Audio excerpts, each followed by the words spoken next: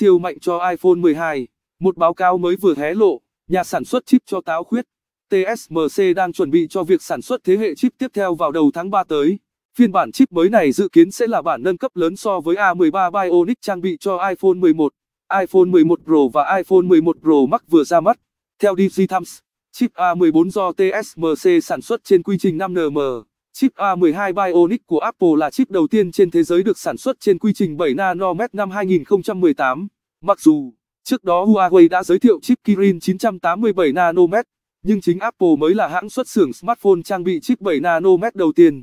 Trong danh sách các công ty sáng tạo gần đây của Fast Company, chip A12 được coi là kỳ tích lớn nhất năm 2018 của Apple, và rất có thể Apple cũng sẽ trở thành hãng đầu tiên trang bị chip 5 nanomet cho smartphone.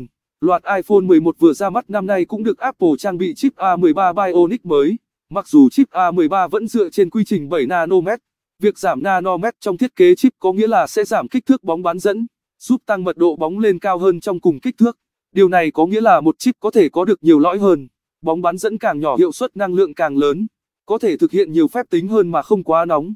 iPhone 2020 được cho là một phiên bản iPhone có nhiều nâng cấp lớn của Apple, cùng với việc được trang bị chip 5nm iPhone 12 cũng sẽ hỗ trợ mạng 5G.